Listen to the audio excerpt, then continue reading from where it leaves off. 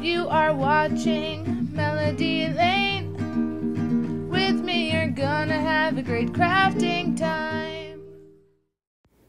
Hello everyone, it's Holly with Melody Lane Inspired, and today I'm to give you guys a tutorial on making this monogram license plate. Now this is one I made for my car, but we're to go through and walk through how we do it from design to cutting it to applying it, and I'm even to tell you what I could have done to make it even better. Now this is how I want the license plate to ultimately turn out.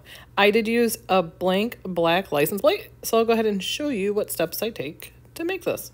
So we're gonna go ahead and go over to shapes, choose what size you want. We're gonna use the square and then we're gonna make that 12 by six. So first thing we're gonna do is go up here and hit our little unlock button, which is right at the top. And then we're gonna make it 12 by six inches. All right, there we go. First, before we stripe it, I want to go ahead and cut the circle out. So I'm gonna grab a shape, go ahead and grab a circle. Let's make that a different color so we can see what we're working with here. All right, now we just wanna size this to what we think will be good. I want the center pretty large, so I think that looks good. Now I wanna make sure it's centered, so I'm gonna click my circle, hold shift, click my rectangle, go up to align and center horizontally. That way we know we got it in the center. I'm going to go ahead and slice through. So I'm going to click my circle, hold shift, click my rectangle, and then go down to the slice button. The reason I'm doing this step now is you can only slice through one thing at once. So this is going to make it the easiest way. You can go ahead and delete that. We don't need these circles anymore. All right, now we need to get some stripes. So I'm going to go to shapes, we're going to make these out of basically long rectangles. So I'm going to grab my first one. Let's give it a color here. I'm going to start with the teal stripe on top because that's actually what I'm keeping. Okay, so we're going to make our length 12 and then I figured the height is perfectly for the stripes I want if I do 0.859. Nope, not 12. Oh, let me turn that unlock off. Almost forgot. Just want it 0.859. So now we have our first stripe. We're just going to go ahead and duplicate it. Duplicate it a couple times.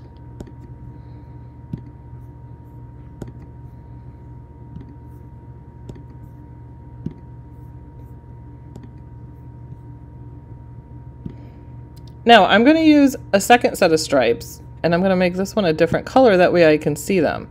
I'm not going to actually put these stripes on, I'm more so going to hold them as spacers to make sure my stripes are spaced perfectly. So I will end up deleting them. So I'm going to go ahead and duplicate a couple more of the purple. All right, so now we're just going to come up here and we're going to start stacking them and layer them. You want to get them as close as you can. And if you do have a little tiny gap there, you're not really going to notice that because that's just the spacing. So, I mean, you're talking a little tiny smidge. If you can see that, you got better eyes than me. And you probably aren't 40 or more because those 40 year old eyes are a real thing. So I'm just lining these up. I see a little bit of a gap there. I'm going to pull that up. Like I said, if this part, if you have a little tiny bit, that's okay. Don't worry about that. You could eyeball it and just try spacing the teal stripes. But I find when I try to do it like that, there's always some that's a little bit off. I'm like, oh, I need to move this one or I need to move that one. So I, this just helps me see that I am spacing them how I need to space them. All right, now that we have those on there, we are going to go ahead and let's select them all. And we just want to align center horizontally. So after we have done that, we're to go ahead and delete these. Remember, these were just placeholders. They were just for me to space my lines. My license plate frame is black, and I'm to have the black show through where we don't have stripes. Let's go ahead and delete the purples.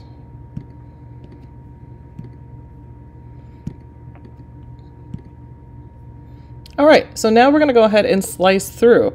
Now we can only do one at a time, so we're just to go one by one. Select the stripe, hit shift, select the circle, hit slice. Oh, once you do that, you can go ahead and delete the part out that you've cut, just like that. I'm going to go ahead and send this to the back again. So I'm going to select my next stripe, shift, hit my circle again, go down to slice, so on and so forth.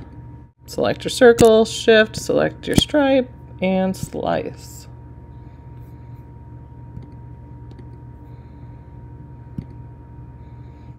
Okay, perfect. Now the circle here shows that it's white, but on mine it's actually going to be black. My license plate frame was black, and I wanted the black stripes and the black center, and then we're going to put a monogram on it in white.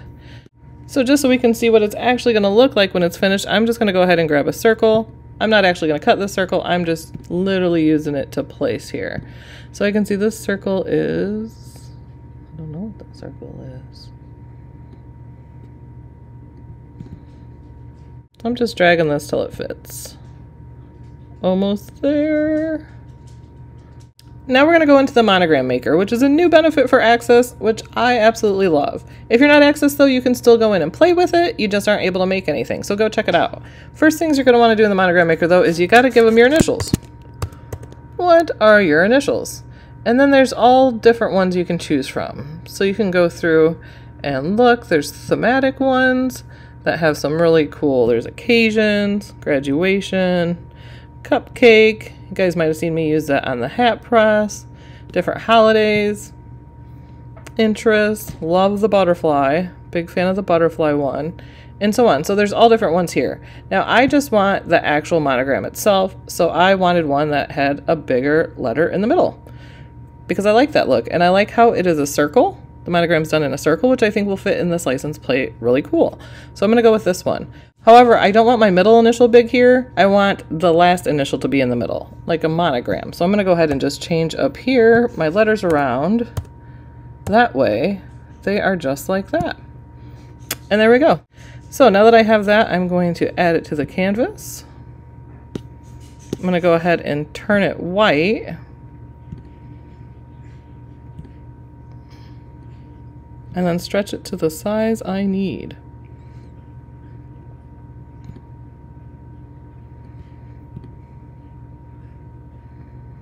Which I want some space around it pretty evenly. Now that we know everything else is centered, I can click this, shift, click the rest, go to align again, and center horizontally. Now this is ultimately what I want my license plate to look like, but like I said, my license plate is actually black. So the part that's black here, I don't need to cut because it's already black. So to cut this, I'm now going to go ahead and delete these black stripes.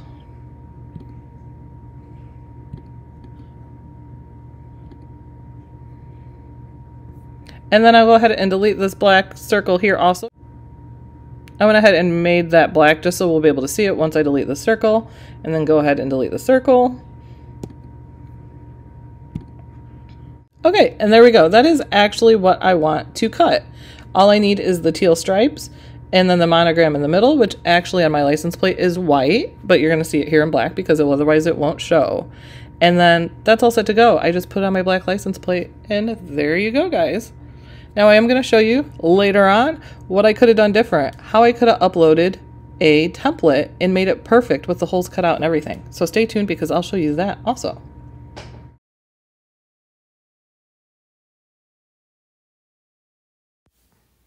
Now let's start cutting this. Just gonna load the sheet now, make sure it is under your two little guides there, and now it's time to go.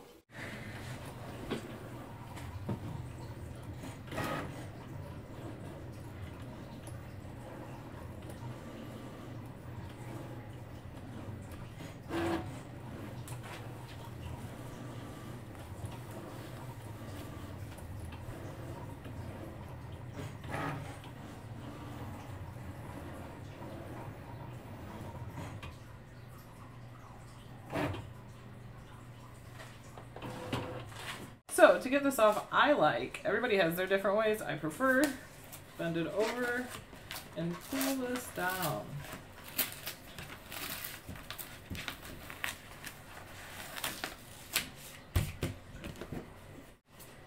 I'm to go ahead and cut it down so it's easier to weed here. Alright, now for this, I just want the circle left. Remember the inside is to be hollow, so I'm to go ahead and weed this out.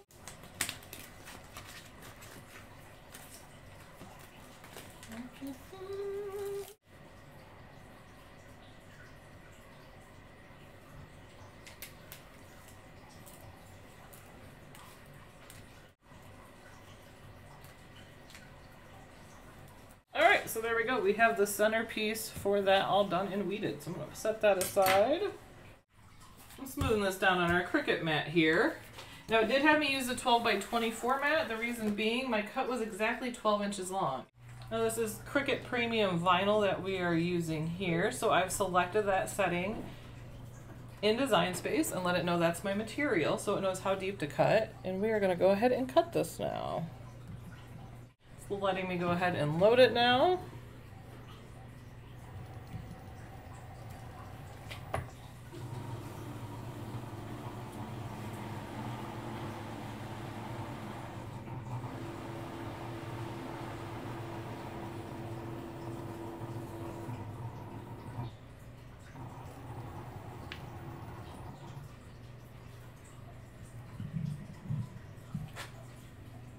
Give it the go.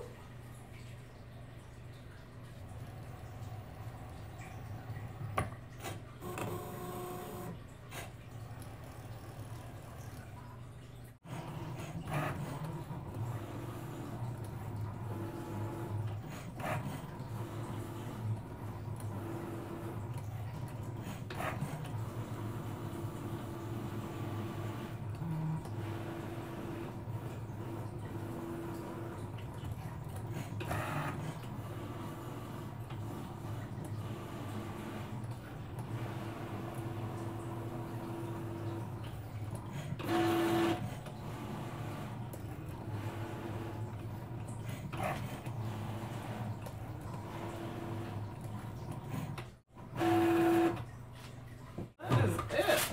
All right, so we're gonna go ahead and remove the vinyl from the sheet. I like to do mine upside down. I'm just pushing down and then I'm pulling up. There we go. Now we're gonna go ahead and weed this. This one should be a pretty easy weed here too. Just started it right there.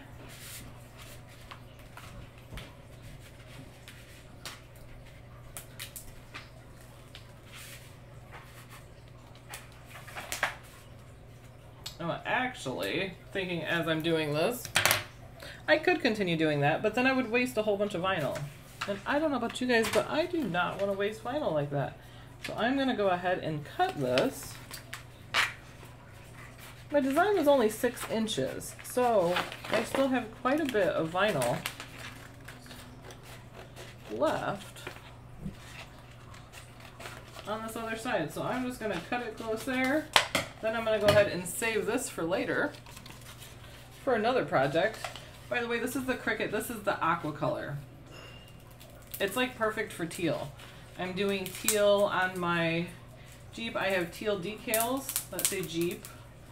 And so this matches that teal perfectly. They do have a teal color of Cricut vinyl also. It is a little darker, a little deeper. All right, so we have our two pieces now. We have this here and we have our circle. That's gonna go in there like that. And then this is the plate we're gonna put it on. This plate is a blank plate I did get off Amazon. I'll put the links for that below. Um, I just bought one, but you can buy several for cheaper. You do, my husband, when it arrived, he said, you're not gonna want that, you wanna return it. And I'm like, why? He says it's all scratched. Well, it's not. There's a protective coating on here. So you're gonna wanna make sure and get the protective coating off first. And by coating, I mean film, like a protective film. So, go ahead and peel that away. All right, so first we're gonna go ahead and do this teal part, which means I'm gonna go ahead and put this part on some transfer tape. Count the size of transfer tape I need. I love that they give us the handy guidelines for straight lines. I love that on wrapping paper too. When I cut wrapping paper, that does not have that. It's just ridiculously crooked. So now that I have my transfer tape and I pulled the backing off, I'm going to go ahead and apply my vinyl to it.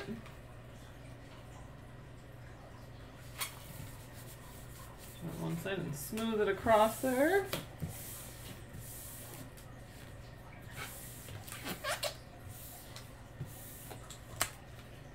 Alright, got my brayer here. So I'm just going to roll that on there and make sure that is on there good. So I think we got it on there good. We're going to go ahead and peel this backing off here. And I like to peel it straight back like this. Continue holding your material tight too. If you see an area, you're going to want to peel it slow in case you see an area that it's not coming off. So when I do that, I usually will take and go ahead and roll that again.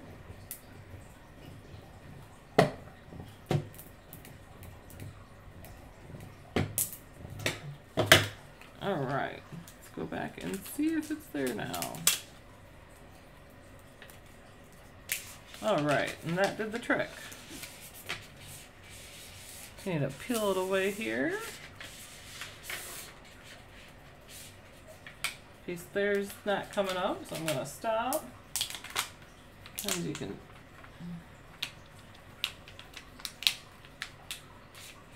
There we go. There we have our first piece. So now I'm gonna grab the license plate frame.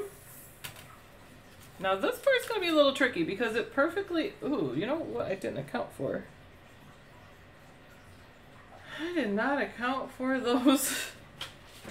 I did the size of the license plate template. I did not account for those, uh, where the screws go. So what I did is I took my picture off Amazon and I'm going to go ahead and upload it.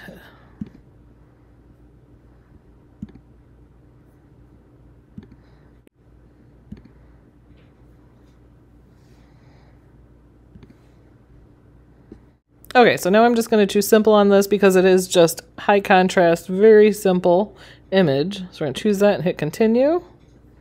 Now I'm just going to click on what part I don't want. So I don't want any of these areas.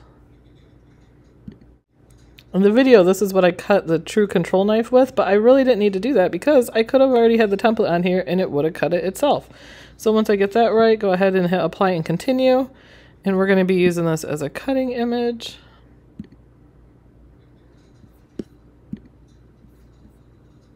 And add it to your canvas. So under there is the image I want to cut. Now we got to get this to size. So this is too big. So first I'm going to come up here and make sure this is unlocked, which I did have it unlocked, but I wanted to show you that because it's new now where it is. It's no longer next to the image. You're going to go up here right above the H. So it is unlocked because I need to make this 12 by 6 inches.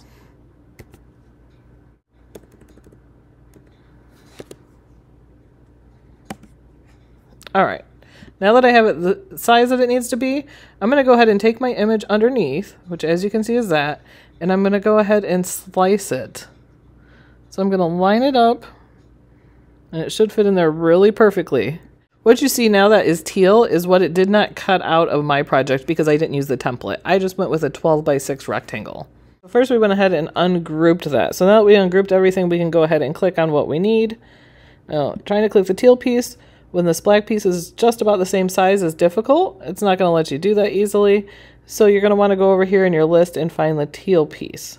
Now, if you're not sure which piece it is, just go ahead and hit the hide button and see it disappeared there. So we know that is the piece we're looking for. So we're going to go ahead and click on that piece. Then we're going to click on the black piece here and select slice. Now voila! This piece we can go ahead and get rid of. That's just what's left of the license plate frame. Go ahead and get rid of this back here.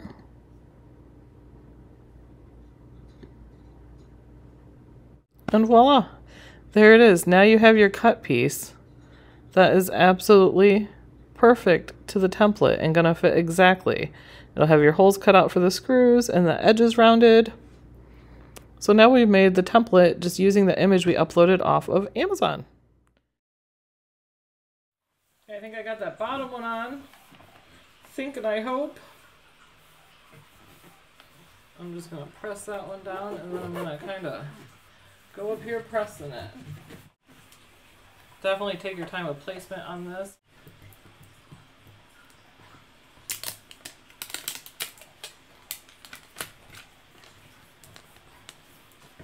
Go ahead and go over it with my brayer you guys don't have a brayer, I highly suggest this thing. I love it. It's able to give that even pressure everywhere along the roller versus your hands, which isn't same kind of even pressure. Now we're going to go ahead and peel this back just like we did when we were taking the backing off.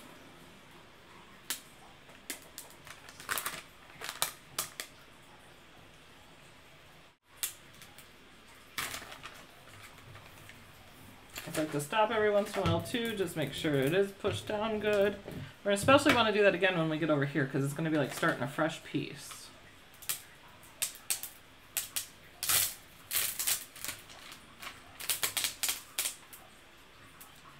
Alright, we're going to slow down, make sure those pieces go perfect. They did. Alright, there we go. First piece is laid. I wouldn't have been able to share it then because, you know, once you upload something, you can't share it. But that is a possibility. And then just make it the size you need. Okay, so to get a couple of the bubbles out, I'm going to take my little scraper here and you're just going to push along to the edge. Depends where your thing is. Sometimes it's on the edge of it, and then I'm going to go ahead and press up to get the bubble out. And so on. You can also take now, I would use my Cricut to con True Control knife. However, I can't find it. I have my refills.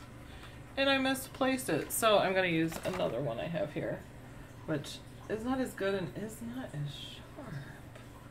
But it's what I can find. So I'm going to use this because I'm going to go ahead and cut out the insides here.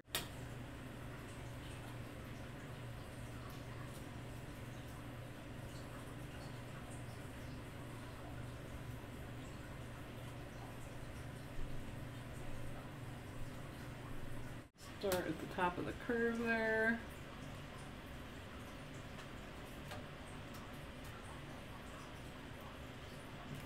To the point.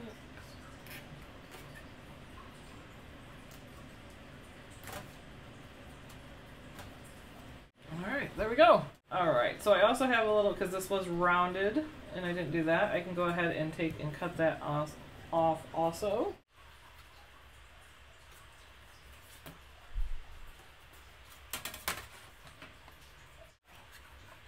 Why I would not use this. I would use the True Control knife. It's so much better. It's sharper. This one I'm using is very, very dull. So there is that. Now we're going to go ahead and go to our monogram, which is going to go in the middle. So for this, we're going to go ahead and put this on transfer tape also. Take our backing off the transfer tape. We're going to go ahead and place this on it here.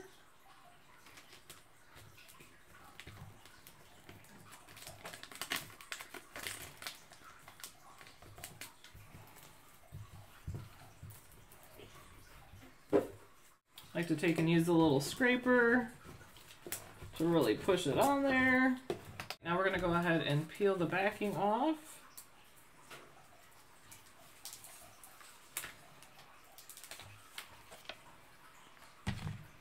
There we go. Now placement of this is going to be important. I had to really get right over that. So I hope that's straight. So you want it centered and straight. And once I start it, I'm just going to go ahead and push it down and go forward. I'm going to go ahead and use this tool just to do that. That's going to help push bubbles out too as you do it.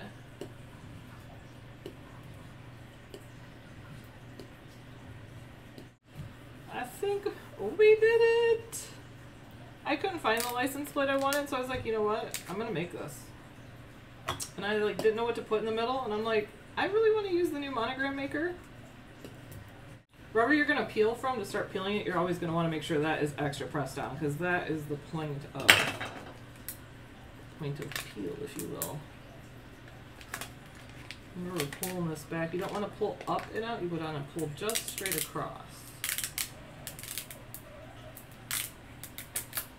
Alright, so we did it guys. Here is the monogrammed plate we made. So thank you guys for joining us. Thank you to all of our supporters also. Shout outs to you guys. And we hope you join us next time. We have some more fun stuff coming. So I hope you guys all have a craftastic week. So we will see you next time. Bye guys. And I'll just say toodles for Alex since he's not here.